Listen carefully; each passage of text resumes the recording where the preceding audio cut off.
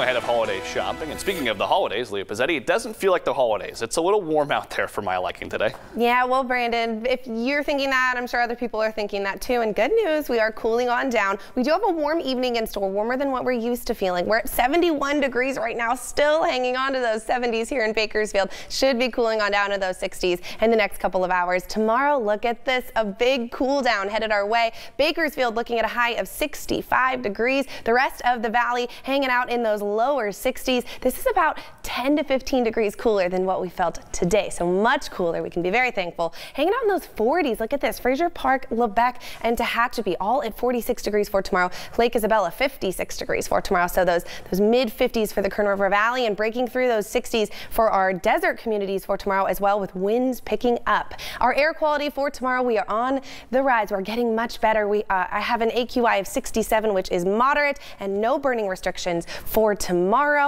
And we are uh, watching the system work its way down California. This is what's helping cool our temperatures off. So if we take a closer look, we can see this is this is headed our way tonight. Right around 9:30 p.m. We we watch this rain start to creep into the valley, and then through the night it continues. Tomorrow morning, right around 8 a.m. Look at that right there over the valley um, in our mountain communities, especially. And look at those wind speeds as well. We'll watch this rain clear out by tomorrow afternoon, but our wind speeds remain nice and high.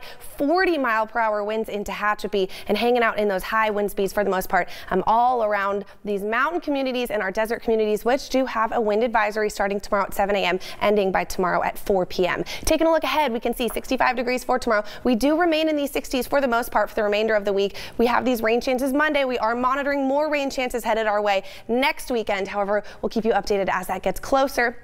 Kern River Valley 56 degrees for tomorrow and then hanging out in those 60s as well. Tehachapi 46 degrees for tomorrow headed back into those 60s and then uh, once again that second system headed our way next weekend. Frazier Park look at those winds really gusty tomorrow and then those we'll have a couple kind of sporadic days throughout the upcoming week where we do have gusts continuing. So um, yeah don't don't wash your car Brandon. I know you always ask me that. Don't wash it after tomorrow because we still have that second system ahead headed our way next weekend. It's just kind of that time of year where you don't really get to wash it because we there's let rain. nature do it. We let Mother Nature take care of it. All right, thanks, Leah.